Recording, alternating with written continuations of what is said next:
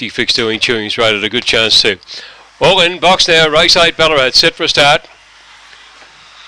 Back to Wednesday night here this week. They're set, they're racing, and so it terrorised the inside, and Lord Diamond pinged the leads from out wide. Went about four lengths, settling down from doing, chewing around the outside of Mott Haven. They were followed about three lengths away then by Terrorizer. Next over on the inside there, Tycoon Diamonds from Queertown, Stowy and Wellback, then Starvin Seagull, and Strike Me Mad into the straight though. And Lord Diamond is the leader. Doing, chewing is trying hard, but Lord Diamond goes all the way and wins by three or four. Doing, chewing second. I say Starving Seagull's got up to run third. Not much in that they. Tycoon Diamond was next. And they were followed then by Mott Haven. Uh, Strike Me Mad was a fair way back with Terrorizer.